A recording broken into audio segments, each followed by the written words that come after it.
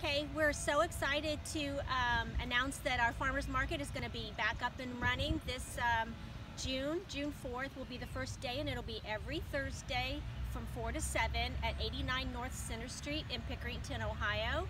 And we have, um, we're following all the COVID-19 guidelines and restrictions and uh, we're going to be making some changes so we just ask that everybody be patient with us.